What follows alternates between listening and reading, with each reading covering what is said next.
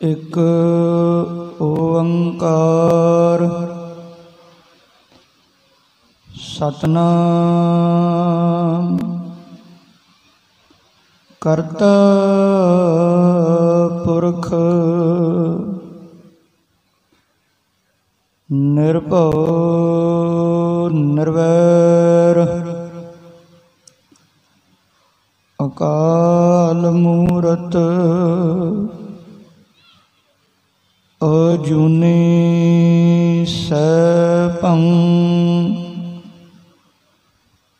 ਗੁਰ ਪ੍ਰਸਾਦ ਜਪ। ਆਦ ਸੱਚ ਜੁਗਾਦ ਸੱਚ। ਹੈ ਭੀ ਸੱਚ। ਨਾਨਕ ਹੋਸੀ ਭੀ ਸਚ। ਖੰਡਾ ਪ੍ਰਥਮੈ ਸਾਜਕ। ਜਿਨ ਸਭ ਸੰਸਾਰ ਉਪਾਇਆ। ਬ੍ਰਹਮਾ ਵਿਸ਼ਨ ਮਹੇਸ਼ ਸਾਜ। ਕੁਦਰਤੀ ਦਾ ਖੇਲ ਰਚਾਏ ਬਣਾਇਆ। ਸਿੰਧ ਪਰਬਤ ਮੇਦਨੀ ਬਿਨ ਥੰਮਾ ਗਗਨ ਰਹਾਇਆ। ਸਿਰਜੇ ਦਾਨੋਂ ਦੇਵਤੇ, ਤਿਨ ਅੰਦਰ ਬਾਦ ਰਚਾਇਆ। ਤਹੀਂ ਦੁਰਗਾ ਸਾਜਕ ਦੈਤਾਂ ਦਾ ਨਾਸ ਕਰਾਇਆ। ਤੈਥੋਂ ਹੀ ਬਲ ਰਾਮ ਲੈ। ਨਾਲ ਬਾਣਾ ਧੈ ਸਿਰ ਕਾਇਆ ਤੈਥੋਂ ਹੀ ਬਲ ਕ੍ਰਿਸ਼ਨ ਲੈ।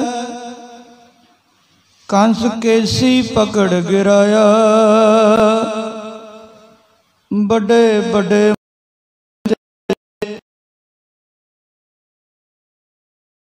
ਅੰਤ ਨ ਪਾਇਆ।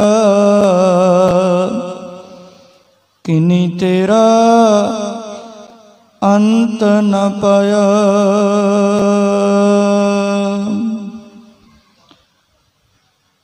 ਪਰਮ ਸਨਮਾਨਯੋਗ,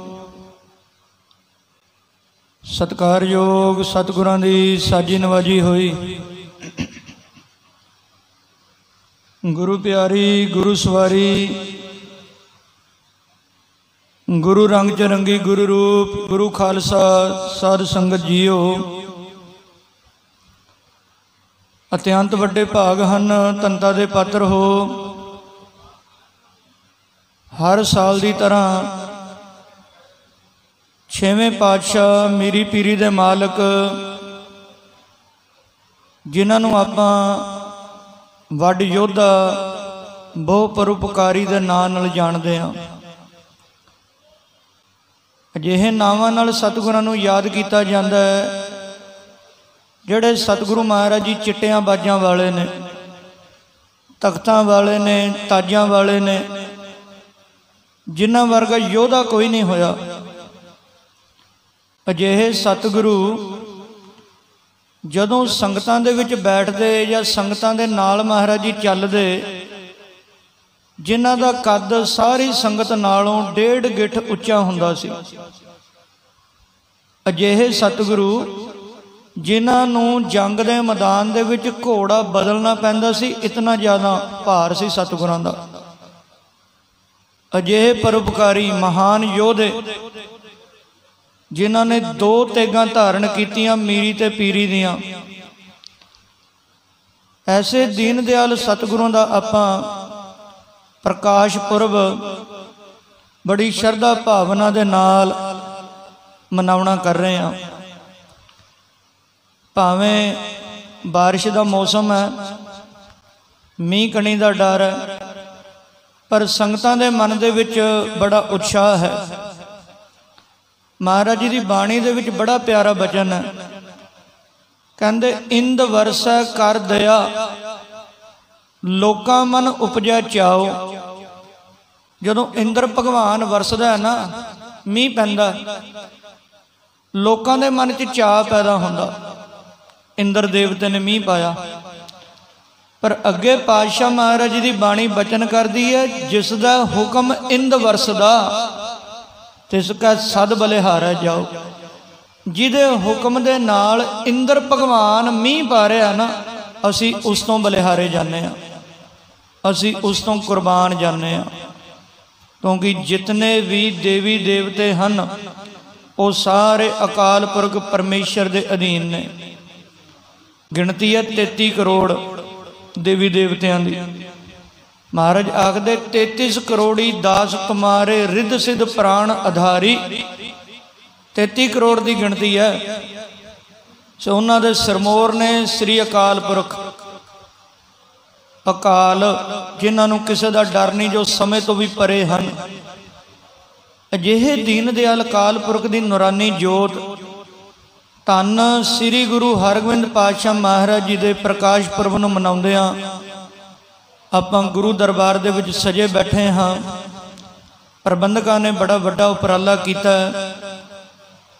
ਦਾਸ ਤੋਂ ਪਹਿਲਾਂ ਭਾਈ ਮਾਨ ਸਿੰਘ ਜੀ ਬੜਾ ਸੁੰਦਰ ਕੀਰਤਨ ਕਰਕੇ ਗਏ ਹਨ। ਸਾਧ ਸੰਗਤ ਜੀ, ਕੁਝ ਕੁ ਸਮਾਂ ਆਪਾਂ ਉਸ ਸਤਿਗੁਰੂ ਦੀ ਯਾਦ ਦੇ ਵਿੱਚ ਜੁੜੀਏ। ਬੇਨਤੀ ਵੀ ਹੈ ਕਿ ਕਿਸੇ ਪਾਸੇ ਤੋਂ ਰੋਲਾ ਨਾ ਆਵੇ, ਕਿਉਂਕਿ ਜਦੋਂ ਤੱਕ ਟਿਕਾ ਹੋਵੇ ਨਾ, ਫਿਰ ਮਹਾਰਾਜ ਜੀ ਦੇ ਆਪਾਂ ਸਰਵਣ ਦਰਸ਼ਨ ਉਹ ਕਰ ਸਕਦੇ ਆ ਦਰਸ਼ਨ ਕਈ ਪ੍ਰਕਾਰ ਦੇ ਹੁੰਦੇ ਨੇ। ਚਿੱਤਰ ਦਰਸ਼ਨ ਹੈ, ਤਸਵੀਰ ਦੇ ਨਾਲ ਦਰਸ਼ਨ ਕਰ ਲੈਣੇ, ਪ੍ਰਤੱਖ ਤੌਰ ਤੇ ਦਰਸ਼ਨ ਕਰ ਲੈਣੇ ਇੱਕ ਹੁੰਦਾ ਸਰਵਣ ਦਰਸ਼ਨ। ਕੰਨਾਂ ਨਾਲ ਦੱਸਣਾ, ਸੁਣਨਾ ਤੇ ਫਿਰ ਆਪਣੇ ਮਨ ਦੇ ਵਿੱਚ ਛਵੀ ਬਣਾ ਲੈਣੀ।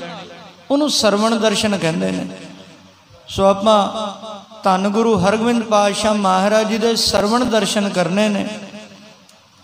ਮਹਾਰਾਜ ਜੀ ਦਾ ਧਿਆਨ ਆਪਣੇ ਹਿਰਦਿਆਂ ਦੇ ਵਿੱਚ ਧਾਰਨ ਕਰੀਏ। ਜਿਤਨੇ ਵੀ ਗੁਰੂ ਚਰਨਾਂ ਦੇ ਵਿੱਚ ਜੁੜੇ ਬੈਠੇ ਹਨ ਆਓ ਗੁਰੂ ਦਰਬਾਰ ਦੇ ਵਿੱਚ ਗੱਜ ਵੱਜ ਕੇ ਫਤਿਹ ਦੀ ਸਾਂਝ ਪਾਈਏ। ਸਮੂਹ ਮਾਈ ਭਾਈ, ਆਖੋ ਜੀ, ਵਾਹਿਗੁਰੂ ਜੀ ਕਾ ਖਾਲਸਾ, ਵਾਹਿਗੁਰੂ ਜੀ ਕੀ ਫਤਿਹ। ਬਬਾਣੀਆਂ, ਕਹਾਣੀਆਂ, ਪੁੱਤ ਸੁਪੁੱਤ ਕਰੇਨ। ਆਪਣੇ ਬਾਬਿਆਂ ਦੀਆਂ, ਸਤਿਗੁਰਾਂ ਦੀਆਂ ਕਹਾਣੀਆਂ, ਉਹਨਾਂ ਦੀਆਂ ਬਾਤਾਂ, ਉਹਨਾਂ ਦੀਆਂ ਯਾਦਾਂ ਉਹ ਕੌਣ ਕਰਦਾ, ਕੌਣ ਜ਼ਾਹਰ ਕਰਦਾ? ਜਿਹੜੇ ਸੁਪੁੱਤਰ ਹੁੰਦੇ ਨੇ, ਚੰਗੇ ਪੁੱਤਰ, ਲਾਇਕ, ਉਹ ਕਰਦੇ ਹੁੰਦੇ ਨੇ। ਹਰ ਸਾਲ ਸਾਧ ਸੰਗਤ ਜੀ, ਆਪਾਂ ਇਹ ਦਿਹਾੜਾ ਮਨਾਉਂਦੇ ਆ ਇਤਿਹਾਸ ਆਪ ਸਰਬੱਤ ਸੰਗਤਾਂ ਨੂੰ ਪਤਾ ਪਰ ਹਰ ਸਾਲ ਇਹ ਇਤਿਹਾਸ ਦੁਹਰਾਇਆ ਜਾਂਦਾ ਤੇ ਦੁਹਰਾਣਾ ਵੀ ਚਾਹੀਦਾ ਹੈ। ਵੱਜਣ ਦੇ ਨਾਲ ਜਿਹੜਾ ਲੋਹਾ ਐਰਣ ਦੇ ਉੱਪਰ ਉਹ ਟੁੱਟ ਜਾਂਦਾ। ਪਾਣੀ ਦੀ ਬੂੰਦ ਪੱਥਰ ਦੇ ਉੱਪਰ ਡਿੱਗਦੀ ਜਾਂਦੀ ਹੈ ਉਸ ਪੱਥਰ ਦੇ ਵਿੱਚ ਵੀ ਮੋਰੀ ਹੋ ਜਾਂਦੀ, ਛੇਕ ਹੋ ਜਾਂਦਾ। ਇਸੇ ਪ੍ਰਕਾਰ ਜਦੋਂ ਵਾਰ-ਵਾਰ ਗੁਰੂ ਦੇ ਸ਼ਬਦ ਦੀ ਚੋਟ, ਗੁਰੂ ਦੀ ਬਾਣੀ ਦੇ ਸ਼ਬਦ ਦਾ ਨਗਾਰਾ ਉਹ ਵੱਜਦਾ ਨਾ, ਤੇ ਸਾਡਾ ਮਨ ਵੀ ਗੁਰੂ ਵਾਲੇ ਪਾਸੇ ਮੋੜਾ ਖਾ ਜਾਂਦਾ। ਇਸ ਕਰਕੇ ਇਹ ਗੁਰੂ ਬਾਬੇ ਦੀਆਂ ਸਾਖੀਆਂ ਕਹਾਣੀਆਂ, ਉਹ ਦਰਸਾਈਆਂ ਜਾਂਦੀਆਂ, ਸੁਣਾਈਆਂ ਜਾਂਦੀਆਂ। ਮਹਾਰਾਜ ਕਹਿੰਦੇ, ਸੁਣ ਸਾਖੀ, ਮਨ ਜਪ ਪਿਆਰ। ਇਹ ਸਾਖੀ ਸੁਣ ਕੇ ਗੁਰੂ ਦੇ ਨਾਲ ਪਿਆਰ ਪੈਦਾ ਹੁੰਦਾ। ਜਿਨ੍ਹਾਂ ਦੇ ਪ੍ਰਕਾਸ਼ ਪੁਰਬ ਨੂੰ ਮਨਾਉਣ ਵਾਸਤੇ ਆਪਾਂ ਬੈਠੇ ਆ, ਧੰਨ ਬਾਬਾ ਬੁੱਢਾ ਸਾਹਿਬ ਜੀ ਦੇ ਬਚਨਾਂ ਦੇ ਨਾਲ ਸਤਿਗੁਰੂ ਮਹਾਰਾਜ ਜੀ ਦਾ ਪ੍ਰਕਾਸ਼ ਹੋਇਆ। ਮਹਾਰਾਜ ਜੀ ਨੇ ਬਚਨ ਕੀਤੇ। ਤੁਮਰੇ ਗ੍ਰਹਿ ਪ੍ਰਗਟੇਗਾ ਯੋਧਾ। ਤੁਹਾਡੇ ਘਰ ਦੇ ਵਿੱਚ ਯੋਧਾ ਪੁੱਤਰ ਪੈਦਾ ਹੋਵੇਗਾ। ਜਿੱਦਾਂ ਅਸੀਂ ਆ ਗੰਡਾ ਭੰਨਦੇ ਆ, ਦੁਸ਼ਮਣਾਂ ਦੇ ਸਿਰ ਉਹ ਇਦਾਂ ਤੋੜਿਆ ਕਰੇਗਾ। ਹੁਣ ਇੱਥੇ ਸੰਗਤ ਜੀ ਸਵਾਲ ਪੈਦਾ ਹੁੰਦਾ। ਵੀ ਧੰਨ ਗੁਰੂ ਅਰਜੁਨ ਦੇ ਮਹਾਰਾਜ ਜੀ ਕੀ ਆਪ ਸਮਰੱਥ ਨਹੀਂ ਸਨ? ਜੋ ਉਹਨਾਂ ਨੇ ਬਾਬਾ ਬੁੱਢਾ ਜੀ ਕੋਲ ਭੇਜਿਆ। ਸਵਾਲ ਉੱਠਦਾ ਹੈ ਨਾ। ਅਨਮਤੀਆਂ ਵਾਲੇ ਸਵਾਲ ਕਰ ਸਕਦੇ ਨੇ ਕਿ ਤੁਹਾਡੇ ਗੁਰੂ ਮਹਾਰਾਜ ਜੀ ਸਮਰੱਥ ਨਹੀਂ, ਜੋ ਉਹਨਾਂ ਨੇ ਬਾਬਾ ਬੁੱਢਾ ਜੀ ਕੋਲ ਕਿਉਂ ਭੇਜਿਆ? ਇਹਦਾ ਉੱਤਰ ਇਹ ਹੈ ਕਿ ਗੁਰੂ ਪਾਤਸ਼ਾਹ ਮਹਾਰਾਜ ਆਪਣੇ ਸੇਵਕ ਨੂੰ ਵਡਿਆਈਆਂ ਦਿੰਦੇ ਨੇ, ਆਪਣੇ ਸਿੱਖਾਂ ਨੂੰ, ਆਪਣੇ ਦਾਸਾਂ ਨੂੰ ਵਡਿਆਈਆਂ ਦਿੰਦੇ ਨੇ। ਜੇ ਕਿਲੇ ਦੇ ਵਿੱਚ ਪਾਤਸ਼ਾਹ ਮਹਾਰਾਜ ਬੈਠੇ, ਕਲਗੀਧਰ ਜੀ, ਉਧਰੋਂ ਪਹਾੜੀ ਰਾਜਾਂ ਦਾ ਹਾਥੀ ਚੜਿਆ ਆ ਰਿਹਾ ਮਹਾਰਾਜ ਜੀ ਸਮਰੱਥ ਨੇ ਅੱਖ ਦੇ ਫੋਰ ਦੇ ਵਿੱਚ 22 ਧਾਰ ਦੀਆਂ ਰਿਆਸਤਾਂ ਖਤਮ ਕਰ ਸਕਦੇ। ਪਰ ਕਹਿੰਦੇ ਨਹੀਂ, ਇਸ ਹਾਥੀ ਦਾ ਮੁਕਾਬਲਾ ਗੁਰੂ ਘਰ ਦਾ ਹਾਥੀ ਕਰੇਗਾ ਦੁਨੀ ਚੰਦ। ਬੜਾ ਮੋਟਾ ਸੀ। ਕੜਾ ਪ੍ਰਸ਼ਾਦ ਦੀ ਪੂਰੀ ਪ੍ਰਾਂਤ ਖਾ ਜਾਂਦਾ ਸੀ। ਜੇ ਕਿਤੇ ਲੰਗਰ ਬਚ ਜਾਵੇ, ਇਕੱਲਾ ਹੀ ਖਾ ਜਾਂਦਾ। ਦੁਨੀ ਚੰਦ ਨੂੰ ਆਖਿਆ ਵੀ ਤੂੰ ਮੁਕਾਬਲਾ ਕਰਨਾ। ਉਹ ਕੰਧ ਟੱਪ ਕੇ ਭੱਜ ਗਿਆ ਕਿਲੇ ਦੀ। ਰੱਸਾ ਲਾ ਕੇ ਰੱਸਾ ਟੁੱਟਿਆ, ਥੱਲੇ ਡਿੱਗਿਆ ਲੱਤ ਟੁੱਟ ਗਈ, ਘਰੇ ਗਿਆ, ਸੱਪ ਲੜ ਕੇ ਮਰ ਗਿਆ। ਸਿੰਘਾਂ ਨੇ ਮਹਾਰਾਜ ਜੀ ਨੂੰ ਦੱਸਿਆ, ਮਹਾਰਾਜ ਕਹਿੰਦੇ, ਹੁਣ ਕੌਣ ਮੁਕਾਬਲਾ ਕਰੇ ਹਾਥੀ ਦਾ? ਇੱਕ ਯੋਧਾ, ਭਾਈ ਬਚਿੱਤਰ ਸਿੰਘ। ਉਹ ਕਹਿੰਦਾ, ਮਹਾਰਾਜ, ਤੁਹਾਡੀ ਕਿਰਪਾ ਹੋਵੇ, ਤੁਸੀਂ ਥਾਪੜਾ ਦਿਓ ਤੇ ਹਾਥੀ ਦਾ ਮੁਕਾਬਲਾ ਮੈਂ ਕਰ ਲਾਂਗਾ। ਤੁਹਾਡਾ ਥਾਪੜਾ ਚਾਹੀਦਾ, ਮਹਾਰਾਜ। ਸਤਿਗੁਰੂ ਮਹਾਰਾਜ ਨੇ ਤੋਸ਼ੇ ਖਾਨੇ ਚੋਂ ਨਾਗਣੀ ਵਰਸ਼ਾ ਦਿੱਤਾ। ਥਾਪੜਾ ਦਿੱਤਾ, ਕਹਿੰਦਾ, ਬਸ ਮਹਾਰਾਜ, ਹੁਣ ਤੁਹਾਡੀ ਥਾਪੀ ਮੇਰੀ ਪਿੱਠ ਦੇ ਉੱਤੇ ਆ ਗਈ। ਪਹਾੜੀ ਰਾਜਿਆਂ ਦਾ ਹਾਥੀ ਦਾ ਕੀ? ਮੈਂ ਤਾਂ ਇੰਦਰ ਦਾ ਇਰਾਵਤ ਹਾਥੀ ਵੀ ਖੋ ਲਿਆਵਾਂ ਮਹਾਰਾਜ। ਸਿੰਘਾਂ ਨੇ ਆਖਿਆ ਵੀ ਮਹਾਰਾਜ ਤਾਂ ਵਡਿਆਈ ਦਿੰਦੇ ਨੇ। ਕਰਨ ਕਰਾਵਣੇ ਵਾਲੇ ਸਤਿਗੁਰੂ ਆਪ ਨੇ ਵਡਿਆਈਆਂ ਆਪਣੇ ਗੁਰਸਿੱਖਾਂ ਨੂੰ ਦਿੱਤੀਆਂ। ਇਸੇ ਪ੍ਰਕਾਰ ਵਡਿਆਈ ਦਿੱਤੀ ਧੰਨ ਬਾਬਾ ਬੁੱਢਾ ਸਾਹਿਬ ਜੀ ਨੂੰ। ਉਹਨਾਂ ਨੂੰ ਵਡਿਆਈਆਂ ਦਿੱਤੀਆਂ। ਸਤਿਗੁਰਾਂ ਦੇ ਆਗਮਨ ਤੋਂ ਪਹਿਲਾਂ ਧੰਨ ਸ੍ਰੀ ਗੁਰੂ ਅਰਜੁਨ ਦੇ ਪਾਤਸ਼ਾਹ ਮਹਾਰਾਜ ਜੀ ਦੇ ਪਿਤਾ ਜੀ, ਗੁਰੂ ਪਿਤਾ ਧੰਨ ਗੁਰੂ ਰਾਮਦਾਸ ਮਹਾਰਾਜ। ਉਹਨਾਂ ਦੇ ਵੇਲੇ ਦਾ ਬਚਨ ਹੈ, ਉਦਾਹਰਨ ਦੇ ਨਾਲ ਗੱਲ ਨਾ ਸਪਸ਼ਟ ਹੋ ਜਾਂਦੀ ਹੈ ਗੁਰੂ ਰਾਮਦਾਸ ਮਹਾਰਾਜ ਦੇ ਚਰਨਾਂ ਦੇ ਵਿੱਚ ਇੱਕ ਦੰਪਤੀ ਜੋੜਾ ਆਇਆ, ਬਾਬਾ ਆਦਮ। ਬੜਾ ਬਜ਼ੁਰਗ ਸਰੀਰ, ਉਮਰ ਬੜੀ ਜ਼ਿਆਦਾ। ਨਾਲ ਉਹਨਾਂ ਦੀ ਘਰ ਵਾਲੀ ਬੀਬੀ ਆ, ਉਹ ਆਏ। ਉਹਨਾਂ ਦੇ ਘਰ ਵਿੱਚ ਔਲਾਦ ਨਹੀਂ ਸੀ। ਇਸੇ ਪ੍ਰਕਾਰ ਸਨ। ਔਲਾਦ ਨਹੀਂ ਸੀ ਘਰ ਦੇ ਵਿੱਚ। ਵਿਹੜੇ ਵਿੱਚ ਸੁੱਖ ਨਹੀਂ ਔਲਾਦ ਦਾ। ਸਰੀਰ ਵੀ ਬਜ਼ੁਰਗ ਹੋ ਚੁੱਕੇ ਦੋਹਾਂ ਦੇ। ਬਜ਼ੁਰਗੀ ਆ ਗਈ, ਬੁੱਢੇ ਹੋ ਗਏ। ਕਿਸੇ ਨੇ ਆਖਿਆ ਵੀ ਮਹਾਰਾਜ ਜੀ, ਸਮਰੱਥ ਨੇ, ਸਭ ਕੁਝ ਕਰ ਸਕਦੇ ਨੇ। ਤੁਸੀਂ ਉਹਨਾਂ ਕੋਲ ਜਾ ਕੇ ਅਰਦਾਸ ਕਰੋ। ਦੋਵੇਂ ਮੀਆਂ ਬੀਬੀ ਚਲੇ ਗਏ। ਮਹਾਰਾਜ ਜੀ ਦੇ ਕੋਲ ਰਹਿਣ ਲੱਗੇ, ਸੇਵਾ ਕਰਦੇ ਲੰਗਰਾਂ ਦੇ ਵਿੱਚ। ਬਾਬਾ ਆਦਮ ਬਜ਼ੁਰਗ ਸਰੀਰ ਹੈ, ਜੰਗਲਾਂ ਦੇ ਵਿੱਚ ਜਾ ਕੇ ਲੱਕੜਾਂ ਕੱਟ ਕੇ ਲਿਆਉਂਦੇ। ਦੋ ਪੰਡਾ ਬੰਨ ਲੈਂਦੇ। ਇੱਕ ਪੰਡ ਜਾ ਕੇ ਲੰਗਰਾਂ ਵਿੱਚ ਸੁੱਟਦੇ। ਦੂਜੀ ਪੰਡ ਆਪਣੇ ਘਰੇ ਉਹ ਜਮ੍ਹਾਂ ਕਰਕੇ ਰੱਖ ਲੈਂਦੇ, ਸਟੋਰ ਕਰਕੇ ਰੱਖ ਲੈਂਦੇ। ਕਦੇ ਸਮਾਂ ਬਣਿਆ ਤੇ ਕੰਮ ਆ ਸਕਦੀਆਂ ਲੱਕੜਾਂ। 6 ਮਹੀਨੇ ਹੋ ਗਏ ਇਦਾਂ ਹੀ ਸੇਵਾ ਕਰਦਿਆਂ ਨੂੰ। ਲੰਗਰਾਂ ਦੇ ਵਿੱਚ ਲੱਕੜਾਂ ਲਿਆ ਕੇ ਸੁੱਟਦੇ ਲੰਗਰ ਪੱਕਦਾ। ਸਾਰ ਸੰਗਤ ਜੀ, ਸਰਦੀਆਂ ਦਾ ਮੌਸਮ ਮੀਂਹ ਪੈ ਗਿਆ। ਉਧਰੋਂ ਸੰਗਤ ਬੜੀ ਆਈ ਹੋਈ ਕਾਬਲ ਕੰਧਾਰ ਤੋਂ। ਠੰਡ ਦਾ ਮੌਸਮ, ਸੰਗਤਾਂ ਤੰਬੂ ਦੇ ਵਿੱਚ ਬੈਠੀਆਂ। ਆਲੇ ਦੁਆਲੇ ਤੰਬੂ ਲੱਗੇ ਹੋਏ, ਅੱਜ ਵਾਂਗੂ ਸਰਾਵਾਂ ਨਹੀਂ ਸੀ ਹੁੰਦੀਆਂ। ਤੰਬੂਆਂ ਦੇ ਵਿੱਚ ਹੀ ਸੰਗਤ ਆਰਾਮ ਕਰਦੀ। ਸਾਰੀ ਸੰਗਤ ਠੰਡ ਦੇ ਨਾਲ ਸਿਕੜ ਰਹੀ ਹੈ। ਲੰਗਰਾਂ ਦੀਆਂ ਲੱਕੜਾਂ ਗਿੱਲੀਆਂ ਨੇ, ਲੰਗਰ ਪੱਕਿਆ ਨਹੀਂ, ਸੰਗਤਾਂ ਭੁੱਖੀਆਂ ਵੀ ਨੇ। ਉਸ ਵੇਲੇ ਬਾਬਾ ਆਦਮ ਜੀ ਜਿਹੜੀਆਂ ਲੱਕੜਾਂ ਘਰ ਦੇ ਵਿੱਚ ਪਈਆਂ ਨੇ ਨਾ, ਜਮ੍ਹਾਂ ਕੀਤੀਆਂ, ਉਹ ਲੱਕੜਾਂ ਲਿਆ ਕੇ ਲੰਗਰਾਂ ਵਿੱਚ ਸੁੱਟੀਆਂ। ਬਾਕੀ ਲੱਕੜਾਂ ਲਿਆ ਕੇ ਅੰਗੀਠੇ ਬਾਲ-ਬਾਲ ਕੇ ਸੰਗਤਾਂ ਦੇ ਤੰਬੂਆਂ ਦੇ ਅੱਗੇ ਰੱਖ ਦਿੱਤੇ। ਸੰਗਤਾਂ ਨੇ ਹੱਥ ਸੇਕ ਕੇ ਆਪਣੀ ਠੰਡ ਦੂਰ ਕੀਤੀ। ਸੋਢੀ ਸੁਲਤਾਨ ਸਤਗੁਰਾਂ ਨੇ ਵੇਖਿਆ ਵੀ ਸੰਗਤਾਂ ਦੇ ਤੰਬੂਆਂ ਦੇ ਅੱਗੇ ਅੱਗ ਬਲਦੀ ਹੈ। ਇਹ ਸੇਵਾ ਕੌਣ ਕਰਕੇ ਗਿਆ? ਸਿੱਖਾਂ ਨੇ ਦੱਸਿਆ, ਮਹਾਰਾਜ, ਇੱਕ ਬੁੱਢਾ ਬੰਦਾ, ਉਹਦਾ ਨਾਮ ਹੈ ਆਦਮ। ਉਹਨੇ ਸੇਵਾ ਕੀਤੀ ਆ। ਮਹਾਰਾਜ ਕਹਿੰਦੇ, ਉਹਨੂੰ ਬੁਲਾ ਕੇ ਲਿਆਇਓ ਕੱਲ ਨੂੰ। ਦਰਬਾਰ ਦੇ ਵਿੱਚ ਪੇਸ਼ ਕਰਿਓ। ਅਗਲੇ ਦਿਨ ਦਰਬਾਰ ਲੱਗਾ, ਸਤਿਗੁਰੂ ਮਹਾਰਾਜ ਜੀ ਬੜੇ ਪ੍ਰਸੰਨ। ਕਹਿਣ ਲੱਗੇ, ਆਦਮ ਜੀ, ਤੁਸੀਂ ਸੰਗਤਾਂ ਦੀ ਸੇਵਾ ਕੀਤੀ ਹੈ, ਸਾਡਾ ਮਨ ਬੜਾ ਪ੍ਰਸੰਨ ਹੈ। ਮੰਗ ਲਓ ਕੀ ਚਾਹੀਦਾ। ਜਿਹੜਾ ਸੰਗਤਾਂ ਦੀ ਸੇਵਾ ਕਰਦਾ, ਮਹਾਰਾਜ ਉਸ ਤੇ ਬੜੇ ਪ੍ਰਸੰਨ ਹੋ ਜਾਂਦੇ। ਸੇਵਾ ਦੋ ਪ੍ਰਕਾਰ ਨਾਲ ਹੁੰਦੀ ਹੈ ਸੰਗਤ ਜੀ। ਜਾਂ ਤਾਂ ਆਪਾਂ ਗੁਰੂ ਦੀ ਸੇਵਾ ਕਰ ਲਈਏ, ਮਹਾਰਾਜ ਜੀ ਦੀ ਵਿਛਾਈ ਕਰਨੀ ਚੰਦਵਾ ਸਾਹਿਬ ਲਾਣਾ, ਥੜਾ ਸਾਹਿਬ ਧੋਣਾ, ਮਹਾਰਾਜ ਦਾ ਪ੍ਰਕਾਸ਼ ਕਰਨਾ, ਸੁਖਾਸਨ ਕਰਨਾ, ਬਸਤਰਾਂ ਨੂੰ ਧੋਣਾ, ਇਹ ਸਤਿਗੁਰਾਂ ਦੀ ਸੇਵਾ। ਫਿਰ ਦੂਜੀ ਸੇਵਾ ਹੈ, ਜਿਹੜਾ ਸਤਿਗੁਰਾਂ ਦੀ ਸੇਵਾ ਕਰਦਾ, ਉਹਨਾਂ ਦੀ ਸੇਵਾ ਕਰ ਲਓ। ਜਿਹੜੇ ਸੰਗਤ ਸਤਿਗੁਰਾਂ ਦੀ ਸੇਵਾ ਕਰਦੀ ਹੈ, ਤੁਸੀਂ ਸੰਗਤਾਂ ਦੀ ਸੇਵਾ ਕਰ ਲਓ।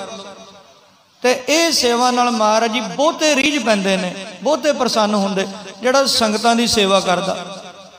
ਆ ਇੰਨੇ ਲੰਗਰ, ਇੰਨੀਆਂ ਵਿਛਾਈਆਂ, ਇੰਨੇ ਗਲੀਚੇ ਕਿਹਦੇ ਵਾਸਤੇ? ਇਹ ਸੰਗਤਾਂ ਦੀ ਸਹੂਲਤ ਵਾਸਤੇ ਲਗਾਏ ਜਾਂਦੇ ਨੇ। ਮਹਾਰਾਜ ਕਹਿੰਦੇ, ਬਾਬਾ ਆਦਮ ਜੀ, ਅਸੀਂ ਬੜੇ ਪ੍ਰਸੰਨ ਆ ਮੰਗੋ ਕੀ ਚਾਹੀਦਾ? ਹੁਣ ਬਜ਼ੁਰਗ ਨੇ ਮੰਗਣਾ ਤੇ ਵੀ ਘਰ ਦੇ ਵਿੱਚ ਪੁੱਤਰ ਹੋਵੇ। ਬੁੱਢਾ ਸਰੀਰ ਹੈ ਸੰਗਤ ਬੈਠੀ ਹੈ ਕਿੱਦਾਂ ਮੰਗੇ? ਸ਼ਰਮ ਆਉਂਦੀ ਆ। ਕਹਿੰਦੇ, ਨਹੀਂ ਮਹਾਰਾਜ, ਬਸ ਨਾਮ ਦੀ ਦਾਤ ਦਿਓ, ਹੋਰ ਕੁਝ ਨਹੀਂ ਚਾਹੀਦਾ। ਹੁਣ ਜਦੋਂ ਮੰਗ ਲਿਆ ਜੇ। ਰਾਤ ਨੂੰ ਘਰ ਵਾਲੀ ਨਾਲ ਸਲਾਹ ਕੀਤੀ, ਭਾਗਵਾਨ ਨੇ, ਅੱਜ ਨਾ ਮਹਾਰਾਜ ਬੜੇ ਪ੍ਰਸੰਨ ਸੀ। ਕਹਿੰਦੇ, ਜੋ ਚਾਹੀਦਾ ਮੰਗ ਲੈ, ਪਰ ਮੈਨੂੰ ਸ਼ਰਮ ਆ ਗਈ। ਮੈਂ ਕਿੱਦਾਂ ਮੰਗਾ ਸੰਗਤ ਦੇ ਵਿੱਚ? ਅਗਲਾ ਦਿਨ ਹੋਇਆ, ਮਹਾਰਾਜ ਨੇ ਫੇਰ ਬੁਲਾ ਲਿਆ। ਆਓ ਭਾਈ, ਆਦਮ ਜੀ, ਮੰਗੋ ਕੀ ਚਾਹੀਦਾ? ਫੇਰ ਉਸੇ ਤਰ੍ਹਾਂ, ਨਹੀਂ ਮਹਾਰਾਜ ਜੀ, ਕੁਝ ਨਹੀਂ, ਬਸ ਤੁਹਾਡੀ ਕਿਰਪਾ, ਨਾਮ ਦੀ ਦਾਤ ਦਿਓ, ਬਸ ਮਹਾਰਾਜ, ਹੋਰ ਕੁਝ ਨਹੀਂ। ਮਹਾਰਾਜ ਕਹਿੰਦੇ, ਕੋਈ ਗੱਲ ਨਹੀਂ ਕੱਲ ਨੂੰ ਫੇਰ ਆ ਜਿਓ। ਸ਼ਾਮ ਨੂੰ ਫੇਰ ਆਪਣੀ ਘਰ ਵਾਲੀ ਨਾਲ ਗੱਲ ਕੀਤੀ। ਘਰ ਵਾਲੀ ਕਹਿੰਦੀ, ਜੇ ਮੈਂ ਵੀ ਨਾਲ ਚੱਲਾਂ, ਆਪਾਂ ਇਕੱਠੇ ਹੋ ਕੇ ਮੰਗੀਏ। ਮਹਾਰਾਜ ਜੀ ਤਰੁੱਟ ਪੈਣ ਸਾਡੇ ਉੱਪਰ ਜ਼ਰੂਰ ਕਿਰਪਾ ਕਰਨਗੇ, ਮੰਗ ਕੇ ਤਾਂ ਵੇਖੀਏ। ਅਗਲਾ ਦਿਨ ਹੋਇਆ, ਘਰ ਵਾਲੇ ਨੂੰ ਨਾਲ ਲਿਆ। ਦੋਵੇਂ ਦੰਪਤੀ ਜੋੜੇ ਨੇ ਗਲ ਦੇ ਵਿੱਚ ਪੱਲਾ ਪਾਇਆ, ਅਰਦਾਸ ਕੀਤੀ, ਮਹਾਰਾਜ, ਘਰ ਦੇ ਵਿੱਚ ਨਾ ਪੁੱਤਰ ਦੀ ਦਾਤ ਨਹੀਂ, ਸਾਡਾ ਸਰੀਰ ਬਜ਼ੁਰਗ ਹੋ ਚੁੱਕਾ, ਬੁੱਢਾ ਹੋ ਚੁੱਕਾ। ਮਹਾਰਾਜ, ਕਦੇ ਸੁੱਕੇ ਦਰਖਤ ਵੀ ਹਰੇ ਹੋਣਗੇ? ਘਰ ਦੇ ਵਿੱਚ ਪੁੱਤਰ ਦੀ ਦਾਤ ਦਿਓ। ਧੰਨ ਗੁਰੂ ਰਾਮਦਾਸ ਮਹਾਰਾਜ ਜੀ ਨੇ ਕੁਝ ਸਮਾਂ ਨੇਤਰ ਬੰਦ ਕੀਤੇ, ਧਿਆਨ ਲਾਇਆ, ਨੇਤਰ ਖੋਲੇ ਮਹਾਰਾਜ ਕਹਿੰਦੇ ਵੀ ਤੁਹਾਡੇ ਕਰਮਾਂ 'ਚ ਨਾ ਪੁੱਤਰ ਦੀ ਦਾਤ ਨਹੀਂ ਹੈ, ਤੁਹਾਡੇ ਭਾਗਾਂ ਵਿੱਚ। ਕਈ ਵਾਰੀ ਸੰਗਤ ਜੀ ਇਦਾਂ ਹੁੰਦਾ, ਸਾਡੇ ਭਾਗਾਂ ਦੇ ਵਿੱਚ ਉਹ ਦਾਤ ਨਹੀਂ ਹੁੰਦੀ ਜੋ ਅਸੀਂ ਮੰਗਣੀ ਚਾਹੁੰਦੇ ਆ ਭਾਗ ਉਸੇ ਨਹੀਂ ਹੁੰਦੇ। ਸਿੱਖ ਇਤਿਹਾਸ ਦੇ ਵਿੱਚ ਬਚਨ ਆਉਂਦਾ, ਭਾਈ ਸੁਬੇਗ ਸਿੰਘ ਤੇ ਸ਼ਾਹਬਾਜ਼ ਸਿੰਘ, ਦੋਵੇਂ ਪਿਓ ਪੁੱਤਰ ਸਨ। ਸੁਬੇਗ ਸਿੰਘ ਲਾਹੌਰ ਦਰਬਾਰ 'ਚ ਨੌਕਰੀ ਕਰਦਾ ਸੀ। ਪਰ ਯਾਇਆ ਖਾਨ ਨੇ ਫੜ ਲਿਆ ਦੋਵਾਂ ਨੂੰ, ਪਿਓ ਪੁੱਤਰਾਂ ਨੂੰ, ਚਰਖੜੀ ਤੇ ਚਾੜਿਆ। ਕਮਾਈ ਗਈ ਚਰਖੜੀ ਹੱਡ ਹੱਡ ਤੋੜ ਦਿੱਤਾ ਗਿਆ। ਯਾਇਆ ਕਾ ਕਹਿੰਦਾ, ਸੁਬੇਗ ਸਿੰਘ ਨੂੰ ਥੱਲੇ ਲਾਓ ਸ਼ਬਾਜ਼ ਸਿੰਘ ਨੂੰ ਚੜਾਓ ਚਰਖੜੀ ਦੇ ਤੇ ਪੁੱਤਰ ਨੂੰ। ਉਹਨੂੰ ਚਰਖੜੀ ਤੇ ਚਾੜਿਆ, ਉਹਨੂੰ ਕੁੱਟਿਆ ਗਿਆ, ਉਹਦੇ ਦੰਦ ਤੋੜੇ ਗਏ। ਯਾਇਆ ਖਾਨ ਨੇੜੇ ਜਾ ਕੇ ਕਹਿੰਦਾ, ਉਹ ਪੁੱਤਰ, ਤੂੰ ਜਿੰਨੀ ਸਿੱਖੀ ਕਮਾਉਣੀ ਸੀ ਕਮਾ ਲਈ। ਤੂੰ ਤਾਂ ਹਜੇ ਉਮਰ ਭੋਗਣੀ ਆ, ਤੇਰਾ ਬਾਪੂ ਤਾਂ ਬੁੱਢਾ ਹੋ ਚੁੱਕਾ ਤੂੰ ਅਜੇ ਦੁਨੀਆ ਵੇਖਣੀ ਆ, ਤੂੰ ਤਾਂ ਉਮਰ ਹੰਡਾਣੀ ਆ। ਕੀ ਕਰਨਾ ਤੂੰ ਇੰਨਾ ਦੁੱਖ ਸਹਾਰ ਕੇ ਮਰ ਜਾਵੇਂਗਾ? ਮੁਸਲਮਾਨ ਬਣ ਜਾ। ਇਤਿਹਾਸ ਦੇ ਵਿੱਚ ਬਚਨ ਆਂਦਾ ਭਾਈ ਸ਼ਾਹਬਾਜ਼ ਸਿੰਘ ਮੰਨ ਗਏ ਕਿ ਮੈਂ ਮੁਸਲਮਾਨ ਬਣਾਂਗਾ। ਮੰਨ ਗਏ। ਯਾਇਆ ਖਾਨ ਬੜਾ ਪ੍ਰਸੰਨ, ਕਹਿੰਦੇ ਸੁਬੇਗ ਸਿਆ, ਤੇਰੇ ਪੁੱਤਰ ਨੂੰ ਮਨਾ ਲਿਆ ਸੀ। ਉਹ ਮੁਸਲਮਾਨ ਬਣੇਗਾ, ਹੁਣ ਵੇਖੀ, ਸਿੱਖਾਂ ਦੇ ਪ੍ਰਾਣ, ਸਿੱਖਾਂ ਦਾ ਇਤਿਹਾਸ ਝੂਠਾ ਪਵੇਗਾ। ਸੁਬੇਗ ਸਿੰਘ ਜੀ ਕਹਿੰਦੇ, ਨਹੀਂ, ਮੇਰਾ ਪੁੱਤਰ ਇਹ ਨਹੀਂ ਹੋ ਸਕਦਾ। ਕਹਿੰਦੇ, ਆਪੇ ਦੇਖ ਲੈ ਜਾ ਕੇ ਤੇਰੇ ਪੁੱਤਰ ਨੇ ਆਪ ਆਖਿਆ, ਮੈਨੂੰ ਲੈ ਕੇ ਚੱਲੋ ਮੇਰੇ ਪੁੱਤਰ ਕੋਲ। ਚਰਖੜੀ ਤੇ ਚੜਿਆ ਹੋਇਆ, ਬਾਹਾਂ ਬੰਨੀਆਂ ਹੋਈਆਂ। ਭਾਈ ਸੁਬੇਗ ਸਿੰਘ ਜੀ ਨੇੜੇ ਆਏ, ਆਪਣੇ ਪੁੱਤਰ ਦਾ ਮੱਥਾ ਵੇਖਦੇ ਨੇ। ਕੀ ਵੇਖਦੇ ਮੱਥੇ ਉੱਤੇ ਲੇਖ ਲਿਖੇ ਸਨ? ਇਹਦੇ ਕਰਮਾਂ 'ਚ ਮੁਸਲਮਾਨ ਹੋਣਾ ਲਿਖਿਆ। ਇਹ ਮੁਸਲਮਾਨ ਬਣੇਗਾ। ਮੱਥਾ ਪੜ ਲਿਆ ਪਿਤਾ ਨੇ। ਉਸ ਵੇਲੇ ਭਾਈ ਸੁਬੇਗ ਸਿੰਘ ਜੀ ਨੇ ਆਪਣੇ ਚਰਨਾਂ ਦੀ ਜੁੱਤੀ ਕੱਢੀ, ਜੋੜਾ ਕੱਢਿਆ, ਆਪਣੇ ਪੁੱਤਰ ਦੇ ਮੱਥੇ ਦੇ ਨਾਲ ਲਾਇਆ। ਬਸ ਪੁੱਠੇ ਲੇਖ ਸਿੱਧੇ ਕਰ ਦਿੱਤੇ। ਉਸੇ ਵੇਲੇ ਜਦੋਂ ਆਪਾਂ ਮੱਥਾ ਟੇਕਦੇ ਆ ਨਾ, ਮਹਾਰਾਜ ਜੀ ਦੀ ਸਰਦਲ ਤੇ, ਜਦ ਦਰਸ਼ਨੀ ਡਿਉੜੀ ਤੇ ਸੰਗਤਾਂ ਦੀ ਚਰਨ ਧੂੜ ਮੱਥੇ ਨਾਲ ਲੱਗਦੀ ਹੈ ਤੇ ਸਾਡੇ ਪੁੱਠੇ ਲੇਖ ਸਿੱਧੇ ਹੋ ਜਾਂਦੇ ਨੇ। ਭਾਈ ਸਵੇਗ ਸਿੰਘ ਜੀ ਕਹਿੰਦੇ, ਹੁਣ ਪੁੱਛ ਕੇ ਦੇਖ ਜਾਈਆ ਖਾਂ ਮੇਰੇ ਪੁੱਤਰ ਨੂੰ। ਜਦੋਂ ਦੁਬਾਰਾ ਪੁੱਛਿਆ, ਕਹਿੰਦੇ, ਜਿਤਨੀ ਮਰਜ਼ੀ ਚਰਖੜੀ ਹੋਰ ਤੇਰੇ ਚਲਾ ਲੈ ਹੁਣ ਮੈਂ ਸਿੱਖ ਬਣ ਕੇ ਮਰਾਂਗਾ। ਇਸੇ ਪ੍ਰਕਾਰ ਮਰਾਂਗਾ। ਉਹ ਕਹਿੰਦਾ, ਤੂੰ ਕੀਤਾ ਕੀ ਹੈ ਕਿਹੜੀ ਪੱਟੀ ਪੜਾਈ ਆਪਣੇ ਪੁੱਤਰ ਨੂੰ? ਕਿਹੜਾ ਮੰਤਰ ਮਾਰਿਆ? ਕਹਿੰਦੇ ਮੰਤਰ ਕੁਝ ਵੀ ਨਹੀਂ ਕੀਤਾ, ਇੱਕ ਗੁਰਸਿੱਖ ਦਾ ਜੋੜਾ ਲੱਗਿਆ ਬਸ। ਪੁੱਠੇ ਲਿਖ ਸਿੱਧੇ ਹੋ ਜਾਂਦੇ ਨੇ। ਜੋ ਕੁਝ ਨਹੀਂ ਵੀ ਕਰਮਾਂ 'ਚ ਹੁੰਦਾ ਨਾ, ਮਹਾਰਾਜ ਜੀ ਦਾ ਸਿੱਖਾਂ ਦੇ ਵਿੱਚ ਇੰਨੀ ਕਰਾਮਾਤ ਹੈ, ਉਹ ਉਹ ਕੁਝ ਵੀ ਬਖਸ਼ ਦਿੰਦੇ ਨੇ। ਦੰਪਤੀ ਜੋੜੇ ਨੇ ਬੇਨਤੀ ਕੀਤੀ, ਮਹਾਰਾਜ ਪੁੱਤਰ ਹੋਵੇ ਘਰ ਵਿੱਚ। ਮਹਾਰਾਜ ਜੀ ਕਹਿੰਦੇ, ਤੁਹਾਡੇ ਭਾਗਾਂ 'ਚ ਪੁੱਤਰ ਨਹੀਂ, ਦੋਵੇਂ ਜਣੇ ਰੋਣ ਲੱਗ ਪਏ। ਸੰਗਤ ਦੇ ਵਿੱਚ ਖੜੇ ਹੋ ਕੇ। ਕੁਝ ਸਮੇਂ ਬਾਅਦ ਮਹਾਰਾਜ ਜੀ ਦਇਆ ਦੇ ਘਰ 'ਚ ਆਏ। ਕਹਿੰਦੇ ਵੀ ਤੁਹਾਡੇ ਘਰ ਪੁੱਤਰ ਤਾਂ ਨਹੀਂ, ਪਰ ਅਸੀਂ ਤੁਹਾਨੂੰ ਆਪਣੇ ਘਰੋਂ ਪੁੱਤਰ ਦਿੰਨੇ ਆ। ਸਾਲ ਪਿੱਛੋਂ ਤੁਹਾਡੇ ਘਰ ਦੇ ਵਿੱਚ ਸੰਤਾਨ ਪੈਦਾ ਹੋਵੇਗੀ, ਪੁੱਤਰ ਹੋਵੇਗਾ। ਉਹਦਾ ਨਾਮ ਤੁਸੀਂ ਭਗਤੂ ਰੱਖਿਓ। ਨਾਮ ਵੀ ਦੱਸ ਦਿੱਤਾ ਮਹਾਰਾਜ ਨੇ। ਨਾਮ ਉਹਦਾ ਭਗਤੂ ਰੱਖਿਓ।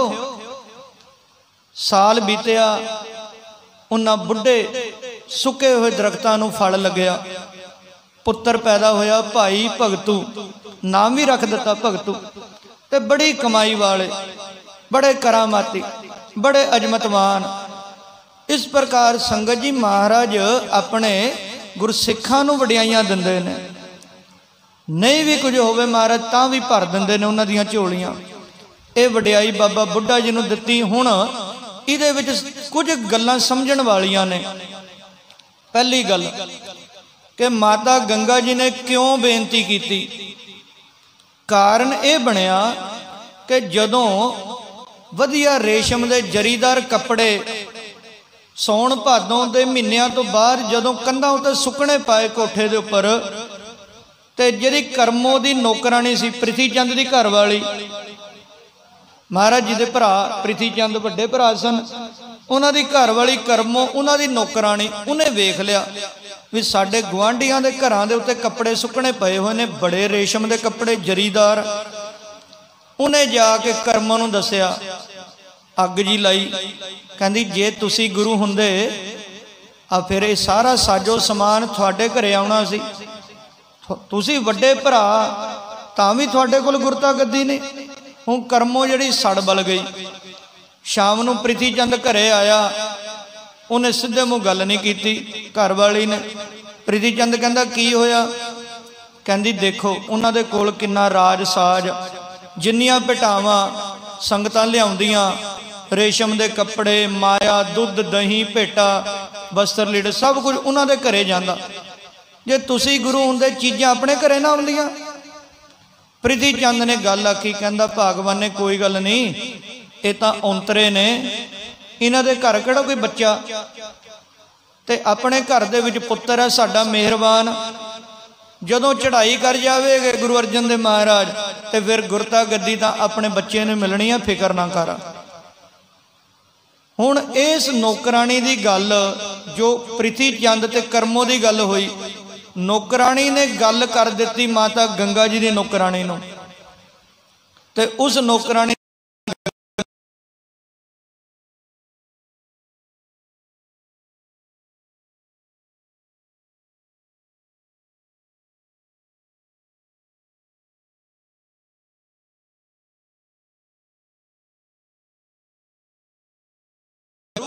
ਸੁਖ, ਰੋਗ ਪਿਆ।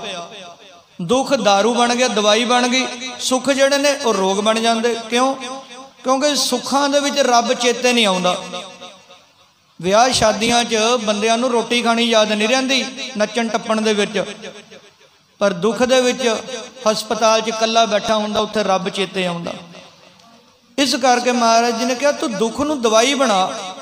ਜਿੰਨਾ ਮਨ ਬੰਦੇ ਦਾ ਦੁੱਖ ਦੇ ਵਿੱਚ ਜੁੜਿਆ ਹੁੰਦਾ ਹੈ ਨਾ ਉਨਾ ਕਿਸੇ ਹੋਰ ਅਵਸਥਾ ਦੇ ਵਿੱਚ ਨਹੀਂ ਜੁੜਿਆ ਹੁੰਦਾ ਫਿਰ ਜਦੋਂ ਦੁੱਖ ਦੇ ਵਿੱਚ ਅਰਦਾਸ ਨਿਕਲਦੀ ਆ ਨਾ ਫਿਰ ਧੁਰ ਦਰਗਾਹ ਤੱਕ ਸੁਣੀ ਜਾਂਦੀ ਆ होती है दुआ कबूल दुआ जो दिल से होती है मगर मुश्किल ये है ये बड़ी मुश्किल से होती है ਬੜੀ ਔਖੀ ਹੁੰਦੀ ਹੈ ਕਲਗੀਧਰ ਮਹਾਰਾਜ ਜੀ ਬਚਨ ਕਰਦੇ ਕਹਿੰਦੇ ਹਾਥੀ ਕੀ ਚਿੰਗਾਰ ਪਲ ਪਾਚੈ ਪਹੁੰਚਤ ਤਾਹੇ ਚੀਟੀ ਕੀ ਪੁਕਾਰ ਪਹਿਲੇ ਹੀ ਸੁਨੀਅਤ ਹੈ ਹਾਥੀ ਚੰਗਾੜਦਾ ਨਾ, ਕਿੰਨਾ ਵੱਡਾ। ਉਹਦੀ ਚੰਗਾੜ ਬਾਅਦ ਚ ਸੁਣੀ ਜਾਂਦੀ ਹੈ ਪਰ ਇੱਕ ਕੀੜੀ ਚੀਕ ਮਾਰਦੀ ਹੈ ਉਹਦੀ ਪੁਕਾਰ ਰੱਬ ਪਹਿਲਾਂ ਸੁਣਦਾ। ਨਮਾਣਿਆਂ ਦੀ, ਨਤਾਣਿਆਂ ਦੀ। ਉਹਦੀ ਮਾਰ ਜੀ ਪਹਿਲਾਂ ਸੁਣਦਾ। ਇਸ ਦੁੱਖ ਦੇ ਵਿੱਚ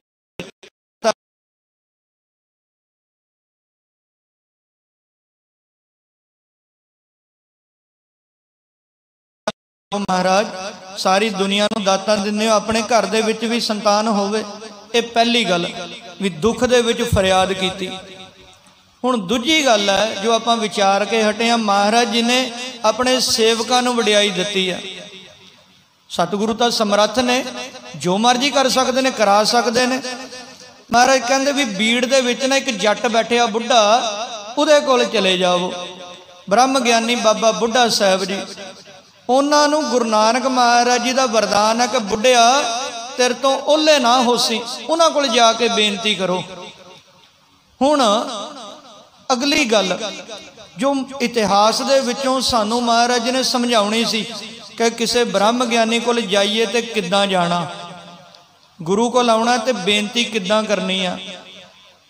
ਮਾਤਾ ਗੰਗਾ ਜੀ ਤਿਆਰ ਹੋਏ, ਰਥਾਂ ਦੇ ਉੱਤੇ, ਗੜਬੈਲਾਂ ਦੇ ਉੱਤੇ ਸਵਾਰ ਹੋਏ 36 ਤਰ੍ਹਾਂ ਦੇ ਪਕਵਾਨ ਨਾਲ ਰੱਖੇ ਦਾਸੀਆਂ ਨੌਕਰਾਂ ਨੂੰ ਨਾਲ ਲਿਆ ਤੇ ਗਏ ਬੀੜ ਬਾਬਾ ਬੁੱਢਾ ਜੀ। ਤੇ ਜਿਹੜੇ ਰਥ ਨੇ ਨਾ, ਉਹ ਵੀ ਕੋਈ ਆਮ ਰਥ ਨਹੀਂ। ਉਹਨਾਂ ਰਥਾਂ ਦੇ ਉੱਤੇ ਸੋਨੇ ਦੇ ਕਲਸ਼ ਲੱਗੇ ਹੋਏ ਨੇ। ਜਿਹੜੇ ਬੈਲ ਨੇ ਨਾ, ਅੱਗੇ ਬਲਦ ਲੱਗੇ ਰਥਾਂ ਦੇ, ਉਹਨਾਂ ਦੇ ਸਿੰਘਾਂ ਦੇ ਉੱਤੇ ਸੋਨੇ ਦੀਆਂ ਟੋਪੀਆਂ ਨੇ। ਗਲਾਂ ਦੇ ਵਿੱਚ ਸੋਨੇ ਦੇ ਘੁੰਗਰੂ ਪਾਏ ਪਏ ਬਲਦਾਂ ਦੇ। ਤੇ ਬੜਾ ਸ਼ੋਰ ਜਿਹਾ ਮਚਿਆ। ਕੱਚੇ ਰਸਤੇ ਦੀ ਮਿੱਟੀ ਉੱਡਦੀ ਆ। ਬਾਬਾ ਬੁੱਢਾ ਸਾਹਿਬ ਜੀ ਬੈਠੇ ਦੂਰੋਂ ਜਦੋਂ ਰੱਥਾਂ ਦੀ ਮਿੱਟੀ ਉੱਡਦੀ ਆਉਂਦੀ ਵੇਖਦੇ, ਕਹਿੰਦੇ ਵੀ ਇਹ ਰੋਲਾ ਕਾਹਦਾ ਪੈਂਦਾ? ਉਹ ਸਿੱਖਾਂ ਨੇ ਦੱਸਿਆ, ਮਹਾਰਾਜ ਗੁਰੂ ਕੇ ਆ ਰਹੇ ਨੇ।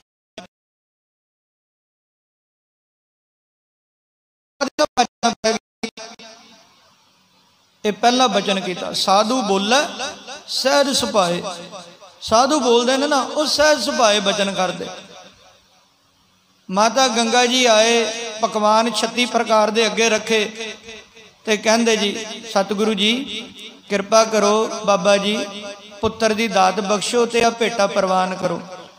ਉਸ ਵੇਲੇ ਬਾਬਾ ਜੀ ਨੇ ਮਨਾ ਕਰ ਦਿੱਤਾ। ਕਹਿੰਦੇ, ਮਾਤਾ ਜੀ, ਮੈਂ ਤਾਂ ਜੱਟ ਜਾਂ ਸੁਭਾਅ ਆ ਬੀੜ 'ਚ ਬੈਠਾ, ਘਾਹ ਖੋਦਣਾ। ਗੁਰੂ ਘਰ ਦਾ ਘਾਈ ਆ, ਮੇਰੇ ਕੋਲ ਪੁੱਤਰਾਂ ਦੀ ਦਾਤਾਂ ਕਿੱਥੇ? ਮੈਂ ਨਹੀਂ ਕੁਝ ਕਰ ਸਕਦਾ। ਪੁੱਤਰ ਦੀ ਦਾਤ ਲੈਣ ਆਏ ਸੀ, ਸ਼ਰਾਪ ਲੈ ਕੇ ਵਾਪਸ ਚਲੇ ਗਏ। ਇਹ ਸਮਝਣ ਦੀ ਗੱਲ ਹੈ ਕਿ ਕਿੱਦਾਂ ਆਣਾ ਕਿਸੇ ਬ੍ਰਹਮ ਗਿਆਨੀ ਦੇ ਕੋਲ, ਸੰਤ ਮਹਾਂਪੁਰਖ ਦੇ ਕੋਲ। ਸ਼ਰਾਪ ਲੈ ਕੇ ਵਾਪਸ ਚਲੇ ਗਏ। ਸ਼ਾਮ ਹੋਈ। ਸਤਿਗੁਰੂ ਮਹਾਰਾਜ ਜੀ ਨੇ ਪੁੱਛਿਆ ਵੀ ਦਾਤ ਮਿਲੀ? ਕਹਿੰਦੇ, ਨਹੀਂ ਮਹਾਰਾਜ।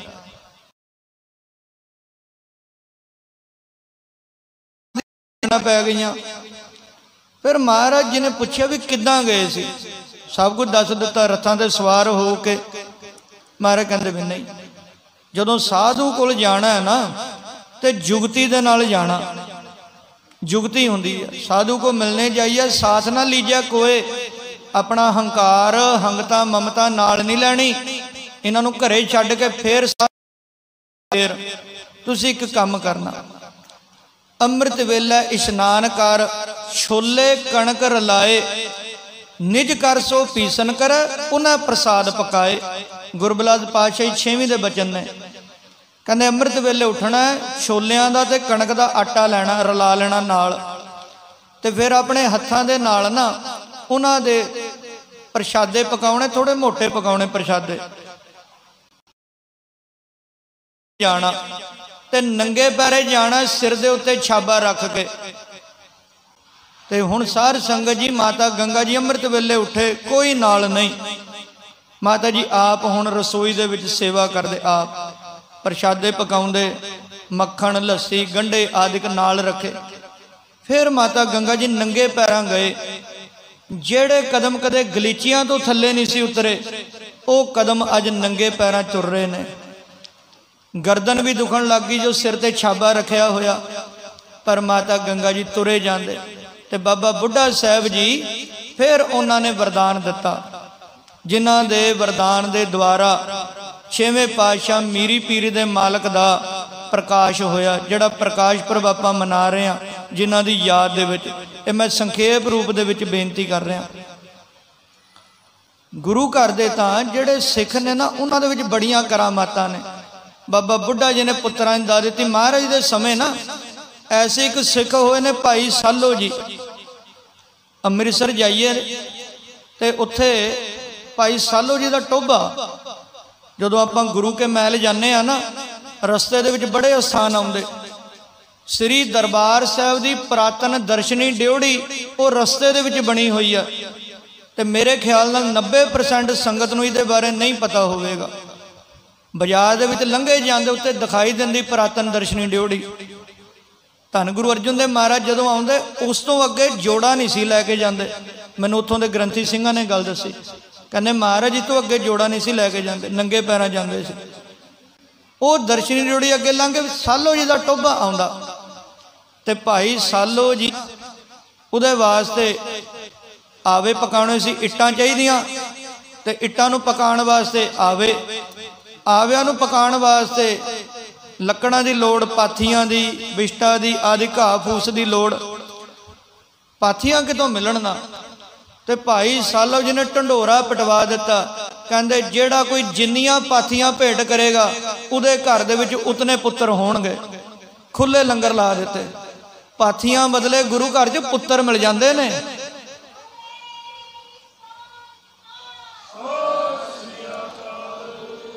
ਅੱਜ ਵੀ ਸੰਗਤਾਂ ਜਦੋਂ ਜਾਂਦੀਆਂ, ਬੜਾ ਛੋਟਾ ਜਿਹਾ ਆਸਾਨ ਬਣਿਆ, ਭਾਈ ਸਾਲੋ ਜੀ ਦਾ ਟੋਬਾ ਉੱਤੇ ਪਾਥੀਆਂ ਚੜਦੀਆਂ ਅੱਜ ਵੀ। ਤੇ ਉਹ ਭਾਈ ਸਾਲੋ ਜੀ ਇੱਕ ਦਿਨ ਦਰਬਾਰ ਸਾਹਿਬ ਦੀ ਪਰਕਰਮਾ ਦੇ ਵਿੱਚ ਨਾ ਝਾੜੂ ਮਾਰਦੇ ਸੀ। ਝਾੜੂ ਮਾਰ ਰਹੇ ਸੀ, ਸੇਵਾ ਕਰਦੇ। ਉਹਨਾਂ ਨੇ ਕਾਲਾ ਜਿਹਾ ਕੰਬਲ ਪਾਇਆ ਹੋਣਾ ਭੂਰਾ ਆਪਣੇ ਮੋਢਿਆਂ ਦੇ ਉੱਤੇ। ਮੱਧ ਪ੍ਰਦੇਸ਼ ਦਾ ਰਾਜਾ, ਉਹ ਆਪਣੇ ਲੜਕੇ ਦੀ ਬਰਾਤ ਸੀ ਉਹਦੀ। ਤੇ ਕਹਿੰਦਾ ਵੀ ਚਲੋ ਰਸਤੇ ਦੇ ਵਿੱਚ ਚੱਲਦੇ ਚੱਲਦੇ ਮਹਾਰਾਜ ਦੇ ਦਰਸ਼ਨ ਵੀ ਕਰਦੇ ਜਾਵਾਂਗੇ। ਮਹਾਰਾਜ ਦਾ ਦੀਦਾਰ ਕਰ ਲਈਏ, ਨਮਸਕਾਰ ਕਰ ਲਈਏ। ਮੱਧ ਪ੍ਰਦੇਸ਼ ਦਾ ਰਾਜਾ ਕਬਲ ਸੈਨ, ਉਹ ਆਇਆ। ਨਾਲ ਉਹਦਾ ਲੜਕਾ। ਉਸ ਲੜਕੇ ਨੇ ਬੜੇ ਸੋਹਣੇ ਕੱਪੜੇ ਪਾਏ ਹੋਏ। ਰਾਜਿਆਂ ਵਾਲੇ ਕੱਪੜੇ। ਤੇ ਉਹ ਕੱਪੜੇ ਥੋੜੇ ਜਿਹੇ ਲੜਕੀਆਂ ਵਾਲੇ ਜਾਪਦੇ ਸੀ। ਭਾਈ ਸਾਲੋ ਜੀ ਝਾੜੂ ਮਾਰਦੇ ਸੀ। ਜਦੋਂ ਅੱਗੇ ਲੰਘੇ ਜਾਂਦੇ ਨਾ, ਉਹ ਲੜਕੇ ਦਾ ਪੈਰ ਭਾਈ ਸਾਲੋ ਜੀ ਦੇ ਝਾੜੂ ਦੇ ਉੱਪਰ ਆ ਗਿਆ। ਭਾਈ ਸਾਲੋ ਜੀ ਨੇ ਉੱਪਰ ਤਾਂ ਨਹੀਂ ਵੇਖਿਆ ਤੇ ਕਹਿ ਦਿੱਤਾ ਵੀ ਧੀਏ, ਧਿਆਨ ਨਾਲ ਚੱਲ। ਉੱਪਰ ਨਹੀਂ ਵੇਖਿਆ ਵੀ ਲੜਕਾ ਜਾਂ ਲੜਕੀ। ਕਹਿੰਦੇ, ਧੀਏ, ਧਿਆਨ ਨਾਲ ਚੱਲ। ਉਹ ਲੜਕਾ ਉਸੇ ਵੇਲੇ ਲੜਕੀ ਬਣ ਗਿਆ। ਕੱਲ ਨੂੰ ਵਿਆਹ ਲੜਕੇ ਦਾ, ਪਰ ਉਸੇ ਵੇਲੇ ਉਹ ਲੜਕੀ ਬਣ ਗਿਆ। ਬੜੇ ਹੈਰਾਨ ਵੀ ਇਹ ਕੀ ਗੱਲ ਬਣ ਗਈ? ਵੀ ਸਾਧੂ ਦਾ ਬੋਲਿਆ ਬਿਰਥਾ ਨਹੀਂ ਜਾਂਦਾ। ਹੁਣ ਮਹਾਰਾਜ ਜੀ ਕੋਲ ਬੇਨਤੀ ਕੀਤੀ, ਸਤਿਗੁਰੂ ਜੀ ਆ ਤੁਹਾਡਾ ਇੱਕ ਸਿੱਖ ਝਾੜੂ ਮਾਰਦਾ ਸੀ, ਉਹਨੇ ਬਚਨ ਕਰ ਦਿੱਤਾ। ਮੇਰੇ ਲੜਕੇ ਦੀ ਸ਼ਾਦੀ ਆ, ਮਹਾਰਾਜ ਅੱਗੇ ਜਾਣਾ ਤੇ ਉਹ ਤਾਂ ਲੜਕੀ ਬਣ ਗਿਆ। ਮਹਾਰਾਜ, ਤੁਸੀਂ ਕਿਰਪਾ ਕਰੋ। ਮਹਾਰਾਜ ਕਹਿੰਦੇ ਵੀ ਭਾਈ, ਵੀ ਉਹ ਜਿਹੜੇ ਸਾਧੂ ਮਹਾਂਪੁਰਖ ਨੇ ਨਾ, ਉਹੀ ਕਿਰਪਾ ਕਰ ਸਕਦੇ ਨੇ। ਜਿੱਥੋਂ ਗੱਲ ਸ਼ੁਰੂ ਕੀਤੀ ਸੀ ਨਾ, ਮਹਾਰਾਜ ਸੇਵਕਾਂ ਨੂੰ ਵਡਿਆਈ ਦਿੰਦੇ ਨੇ। ਕਹਿੰਦੇ ਕੱਲ ਨੂੰ ਇੱਕ ਕੰਮ ਕਰਿਓ। ਆਪਣੇ ਜੋ ਲੜਕੀ ਬਣ ਚੁੱਕੀ ਹੈ ਇਹਨੂੰ ਲੜਕਿਆਂ ਵਾਲੇ ਕੱਪੜੇ ਪਵਾਇਓ ਹੁਣ। ਜਿਸ ਸਮੇਂ ਭਾਈ ਸਾਲੋ ਜੀ ਝਾੜੂ ਮਾਰਦੇ ਹੋਣਗੇ ਨਾ, ਬਿਲਕੁਲ ਉਸੇ ਵੇਲੇ ਤੁਸੀਂ ਦੁਬਾਰਾ ਜਾਣਾ, ਇਹੀ ਕੰਮ ਕਰਨਾ। ਆਪਣਾ ਪੈਰ ਉਹਨਾਂ ਦੇ ਝਾੜੂ ਦੇ ਉੱਪਰ ਰੱਖ ਦਿਓ, ਫਿਰ ਦੇਖੋ ਕੀ ਬਚਨ ਕਰਨਗੇ। ਸਤ ਬਚਨ ਮਹਾਰਾਜ, ਅਗਲਾ ਦਿਨ ਹੋਇਆ, ਭਾਈ ਸਾਲੋ ਜੀ ਉਸੇ ਪ੍ਰਕਾਰ ਝਾੜੂ ਮਾਰਦੇ, ਸੇਵਾ ਕਰਦੇ ਨੇ। ਉਹ ਮੱਧ ਪ੍ਰਦੇਸ਼ ਦੇ ਰਾਜੇ ਦਾ ਲੜਕਾ ਜੋ ਲੜਕੀ ਬਣਿਆ, ਉਹ ਫੇਰ ਆਇਆ। ਅੱਜ ਜਾਣ ਕੇ ਪੈਰ ਧਰ ਦਿੱਤਾ ਝਾੜੂ ਦੇ ਉੱਤੇ। ਭਾਈ ਸਾਲੋ ਜੀ ਉਸੇ ਪ੍ਰਕਾਰ ਬ੍ਰਹਮ ਗਿਆਨ ਅਵਸਥਾ ਦੇ ਮਾਲਕ ਤੇ ਉੱਪਰ ਨਹੀਂ ਵੇਖਿਆ, ਚਰਨਾਂ ਵੱਲ ਹੀ ਵੇਖ ਕੇ ਉਹਦੇ ਪੈਰਾਂ ਵੱਲ, ਉਹ ਕਹਿੰਦੇ, ਉਹ ਪੁੱਤਰਾ, ਧਿਆਨ ਧਿਆਨ ਤੁਰ। ਬਸ ਉਸੇ ਵੇਲੇ ਉਹ ਜਿਹੜਾ ਲੜਕੀ ਬਣਿਆ ਸੀ, ਦੁਬਾਰਾ ਲੜਕਾ ਬਣ ਗਿਆ। ਉਹ ਰਾਜਾ ਬੜਾ ਹੈਰਾਨ ਵੀ ਗੁਰੂ ਘਰ ਦੇ ਵਿੱਚ ਇਤਨੀ ਕਰਾਮਾਤਾਂ। ਗੁਰੂ ਘਰ ਦੇ ਤਾਂ ਕਾਹੀਆਂ ਵਿੱਚ ਵੀ ਕਰਾਮਾਤਾਂ ਵਰਤਦੀਆਂ ਨੇ।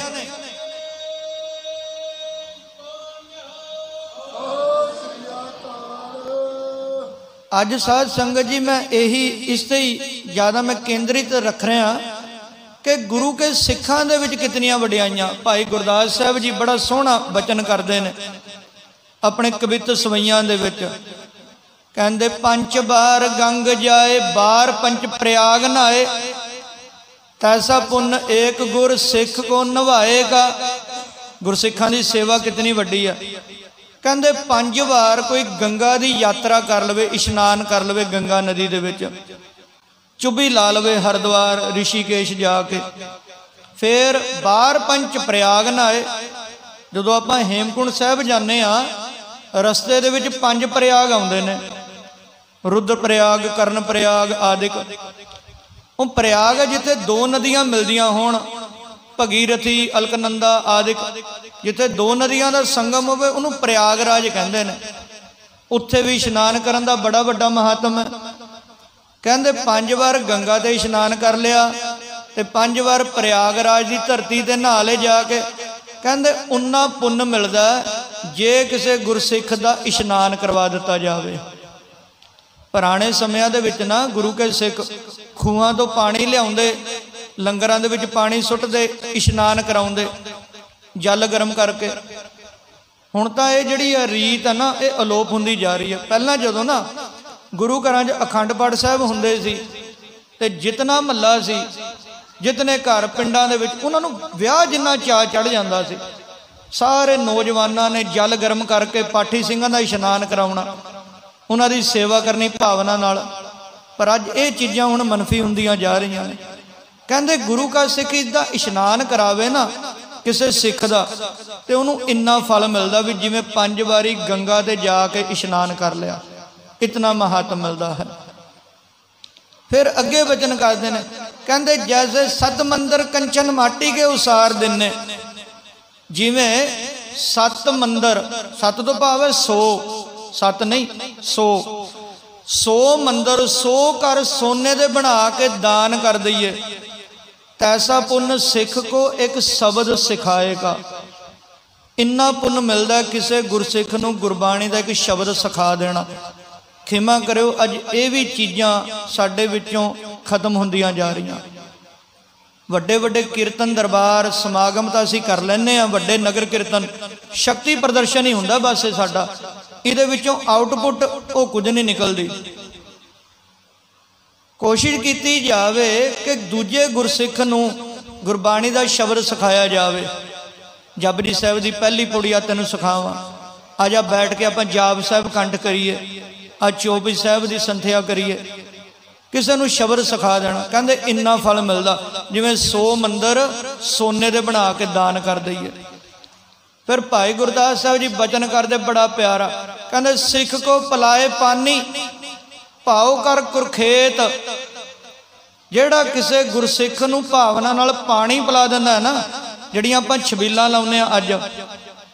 ਇਹ ਪੰਜਾਬ ਦੀ ਧਰਤੀ ਇਤਨੀ ਕੁ ਜ਼ਰਖੇਜ ਹੈ ਨਾ ਹੜ ਚੱਲੇ ਨੇ, ਥਾਂ ਥਾਂ ਦੇ ਉੱਤੇ ਤਰਾਸਦੀ ਆਈ ਆ, ਪਹਾੜ ਟੁੱਟੇ, ਲੈਂਡਸਲਾਈਡ ਹੋਈ ਆ। ਜਿਹੜੀਆਂ ਸੰਗਤਾਂ ਹੇਮਕੁੰਡ ਸਾਹਿਬ ਗਈਆਂ ਨੇ ਰਸਤੇ ਦੇ ਵਿੱਚ ਨੇ, ਉਹ ਦੱਸਦੇ ਵੀ ਉੱਥੇ ਜਿਹੜੇ ਹਿਮਾਚਲੀ ਲੋਕ ਨੇ, ਬਾਕੀ ਪਹਾੜੀਏ ਪਾਣੀ ਦੀ ਬੋਤਲ 20 ਰੁਪਏ ਦੀ ਉਹਨਾਂ ਨੇ 200 200 ਰੁਪਏ ਦੀ ਵੇਚੀ ਆ। ਇਤਨੀ ਮਹਿੰਗੀ। ਪਰ ਧੰਨ ਨੇ ਗੁਰੂ ਕੇ ਸਿੱਖ, ਜਿੱਥੇ ਕਿਤੇ ਤਰਾਸਦੀ ਹੋਵੇ, ਫ੍ਰੀ ਲੰਗਰ ਲਾ ਦਿੰਦੇ ਨੇ। ਫ੍ਰੀ ਲੰਗਰ, ਆਕਸੀਜਨਾਂ ਤੱਕ ਦੇ ਵੀ ਲੰਗਰ ਲਾਏ ਗੁਰੂ ਕੇ ਸਿੱਖਾਂ ਨੇ। ਕਿਉਂ? ਇਹ ਧੰਨ ਗੁਰੂ ਨਾਨਕ ਪਾਤਸ਼ਾਹ ਮਹਾਰਾਜ ਜੀ ਦੀ ਦੇਣ ਹੈ। ਜੋ ਉਹਨਾਂ ਨੇ 20 ਰੁਪਈਆਂ ਦਾ ਲੰਗਰ ਲਾਇਆ। ਇਨ੍ਹਾਂ ਖੇਤਾਂ ਵਿੱਚ ਪੰਜਾਬ ਦੀ ਧਰਤੀ ਤੇ ਗੁਰੂ ਨਾਨਕ ਮਹਾਰਾਜ ਦਾ ਪਸੀਨਾ ਡੁੱਲਿਆ ਹੋਇਆ ਖੇਤਾਂ ਦੇ ਵਿੱਚ ਤੇ ਇਥੋਂ ਕਦੇ ਬਰਕਤ ਨਹੀਂ ਜਾ ਸਕਦੀ। ਤੇ ਬਚਨ ਕਰਦੇ ਕਹਿੰਦੇ, ਸਿੱਖ ਕੋ ਪਲਾਏ ਪਾਨੀ ਭਾਉ ਕਰ ਕੁਰਖੇਤ ਅਸ਼ਮੇਘ ਯੱਗ ਫਲ ਸਿੱਖ ਕੋ ਜਵਾਏ ਕਾ। ਅਸ਼ਮੇਘ ਯੱਗ ਕੀਤਾ ਜਾਂਦਾ ਸੀ ਪਹਿਲਾਂ ਤ੍ਰੇਤੇ ਦੁਆਪਰ ਯੁੱਗਾਂ ਦੇ ਵਿੱਚ। ਘੋੜੇ ਦੀ ਬਲੀ ਦਿੱਤੀ ਜਾਂਦੀ, ਬੜਾ ਵੱਡਾ ਯੱਗ ਹੁੰਦਾ। ਤੇ ਕਲਗੀਧਰ ਮਹਾਰਾਜ ਲਿਖਦੇ, ਹਾਥੀ ਦੀ ਸੁੰਡ ਜਿੰਨਾ ਪਰਨਾਲਾ, ਉਹਦੇ ਵਿੱਚੋਂ ਲਗਾਤਾਰ ਦੇਸੀ ਘਿਓ ਉਹ ਯੱਗ ਦੇ ਵਿੱਚ ਪਈ ਜਾਂਦਾ ਸੀ, ਤਾਂ ਕਿਤੇ ਜਾ ਕੇ ਯੱਗ ਸੰਪੂਰਨ ਹੁੰਦੇ ਸੀ। ਗਿਆਨ ਪ੍ਰਬੋਧ ਦੀ ਬਾਣੀ ਦੇ ਵਿੱਚ ਮਹਾਰਾਜ ਬਚਨ ਕਰਦੇ। ਏਡੇ ਏਡੇ ਵੱਡੇ ਯੱਗ ਪਾਂਡਵਾਂ ਵਰਗਿਆਂ ਨੇ ਕੀਤੇ। ਕਹਿੰਦੇ ਫਿਰ ਉਹਨਾਂ ਯੱਗਾਂ ਦਾ ਮਹਾਤਮ ਹੈ ਵੀ ਕਿਸੇ ਸਿੱਖ ਨੂੰ ਪਾਣੀ ਪਿਲਾ ਦਿਓ ਨਾ, ਫਿਰ ਇੰਨਾ ਫਲ ਮਿਲ ਜਾਂਦਾ। ਇੰਨਾ। ਜੈਸੇ 20 ਬਾਰ ਦਰਸ਼ਨ ਸਾਧ ਕੀਆ ਕਾਹੂ, ਤੈਸਾ ਪੁੰਨ ਸਿੱਖ ਕੋ ਚਾਪ ਪਗ ਸਵਾਏਗਾ। ਕਹਿੰਦੇ ਜਿਵੇਂ 20 ਵਾਰ ਕਿਸੇ ਪੂਰਨ ਮਹਾਂਪੁਰਖਾਂ ਦੇ ਦਰਸ਼ਨ ਕਰ ਲਈਏ ਨਾ, ਉਨਾ ਫਲ ਹੈ ਕਿਸੇ ਗੁਰਸਿੱਖ ਦੀ ਮੁਠੀ ਚਾਪੀ ਕਰਨ ਦਾ, ਉਹਦੀਆਂ ਲੱਤਾਂ ਘੁੱਟਣ ਦਾ ਇਦਾਂ ਸੇਵਾ ਕਰਨ ਦਾ। ਜਦੋਂ ਯਾਤਰਾਵਾਂ ਤੇ ਜਾਈਏ, ਉੱਥੇ ਗੁਰਸਿੱਖਾਂ ਨੇ ਇਦਾਂ ਮਸ਼ੀਨਾਂ ਵੀ ਰੱਖੀਆਂ ਹੋਈਆਂ, ਸੰਗਤਾਂ ਦੇ, ਉਹ ਗੋਡੇ ਘੁੱਟਦੇ ਨੇ, ਚਰਨ ਘੁੱਟਦੇ ਨੇ। ਵੀ ਨਾ ਮਹਾਤਮਾ ਸੰਗਤ ਜੀ, ਗੁਰਸਿੱਖਾਂ ਦੀ ਸੇਵਾ ਦਾ। ਪਰ ਅੱਜ ਜਦੋਂ ਕੋਈ ਗੁਰਸਿੱਖ ਸਾਹਮਣੇ ਤੋਂ ਆਉਂਦਾ ਹੋਵੇ ਨਾ, ਤੇ ਆਪਾਂ ਪਾਸਾ ਵਟ ਲੈਂਦੇ ਆ ਵੀ ਕਿਤੇ ਫਤਿਹ ਨਾ ਬੁਲਾਣੀ ਪੈ ਜਾਏ ਸਾਡੇ ਮਨਾਂ ਦੇ ਵਿੱਚ ਈਰਖਾ ਹੁੰਦੀ ਜਾ ਰਹੀ ਆ। ਇੱਕ ਸੰਪਰਦਾ ਵਾਲੇ ਦੂਸਰੀ ਜਥੇਬੰਦੀ ਨੂੰ ਵੇਖ ਕੇ ਰਾਜੀ ਨਹੀਂ। ਉਹ ਕਹਿੰਦੇ, ਅਸੀਂ ਟਕਸਾਲ, ਅਸੀਂ ਨਿਹੰਗ, ਅਸੀਂ ਅਖੰਡ, ਅਸੀਂ ਕੁਝ ਅਸੀਂ ਕੁਝ। ਪਰ ਨਹੀਂ, ਇਹ ਗੁਰੂ ਨਾਨਕ ਪਾਤਸ਼ਾਹ ਮਹਾਰਾਜ ਜੀ ਦੀ ਫੁਲਵਾੜੀ ਦੇ ਫੁੱਲ ਨੇ। ਫੁਲਵਾੜੀ ਦੇ ਵਿੱਚ ਇੱਕੋ ਹੀ ਫੁੱਲ ਲਾ ਦਈਏ, ਗੇਂਦੇ ਦੇ, ਗੁਲਾਬ ਦੇ। ਉਹ ਵਧੀਆ ਨਹੀਂ ਲੱਗਣੇ।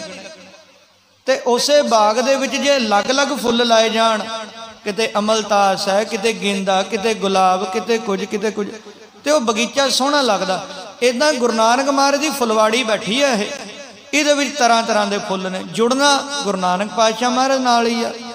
ਸੋ ਇਸ ਪ੍ਰਕਾਰ ਭਾਈ ਗੁਰਸਿੱਖਾਂ ਦੀ ਸੇਵਾ ਦੇ ਵਿੱਚ ਬੜੀਆਂ ਵੱਡੀਆਂ ਦਾਤਾਂ ਨੇ। ਮਹਾਰਾਜ ਕਹਿੰਦੇ ਗੁਰ ਪੀਰਾਂ ਕੀ ਚਾਕਰੀ ਮਹਾਂ ਕਰੜੀ ਸੁਖ ਸਾਰ ਜਿਹੜੀ ਗੁਰੂ ਪੀਰਾਂ ਦੀ ਚਾਕਰੀ ਆ ਨਾ, ਬੜੀ ਔਖੀ ਆ ਮਹਾਂ ਕਰੜੀ ਪਰ ਜਿਹੜਾ ਕੋਈ ਸੇਵਾ ਕਰ ਲਵੇ, ਤੇ ਫਿਰ ਉਹ ਸੇਵਾ ਕੀ ਕਰਦੀ ਹੈ ਸੁਖ ਸਾਰ ਉਹ ਸੇਵਾ ਫਿਰ ਸੁਖ ਪ੍ਰਦਾਨ ਕਰਦੀ ਹੈ ਸੁਖ ਦਿੰਦੀ ਆ। ਧੰਨ ਮਾਤਾ ਗੰਗਾ ਜੀ ਨੇ ਉਹਨਾਂ ਨੇ ਸੇਵਾ ਕੀਤੀ, ਨੰਗੇ ਪੈਰਾਂ ਗਏ। ਕਈ ਕਿਲੋਮੀਟਰਾਂ ਦਾ ਸਫ਼ਰ ਬਣਦਾ, ਅੱਜ ਦੇ ਸਮੇਂ ਵਿੱਚ ਜੇ ਦੇਖੀਏ, ਤੇ ਉਹਨਾਂ ਨੂੰ ਵੱਡੀ ਦਾਤ ਮਿਲੀ ਆ। ਪਹਿਲਾਂ ਮਿਹਨਤ ਕਰਨੀ ਪੈਂਦੀ ਆ, ਫਿਰ ਦਾਤ ਮਿਲਦੀ ਆ। ਤੇ ਫਿਰ ਛੇਵੇਂ ਪਾਤਸ਼ਾਹ, ਜਿਨ੍ਹਾਂ ਨੇ ਚਾਰ ਜੰਗ ਲੜੇ, ਚਾਰ ਯੁੱਧ ਲੜੇ ਨੇ ਤੇ ਅਜਿਹੇ ਯੁੱਧ ਦੁਨੀਆ ਵਿੱਚ ਉਹਨਾਂ ਵਰਗਾ ਸਾਨੀ ਨਹੀਂ, ਤੇ ਸਤਿਗੁਰਾਂ ਨੇ ਯੁੱਧ ਵਿੱਚ ਐਸੀਆਂ ਵੀ ਕਰਾਮਾਤਾਂ ਕੀਤੀਆਂ। ਲੋਹਗੜ ਦੀ ਜੰਗ ਵਿੱਚ ਲੱਕੜ ਦੀ ਤੋਪ ਚਲਾ ਦਿੱਤੀ ਮਾਰ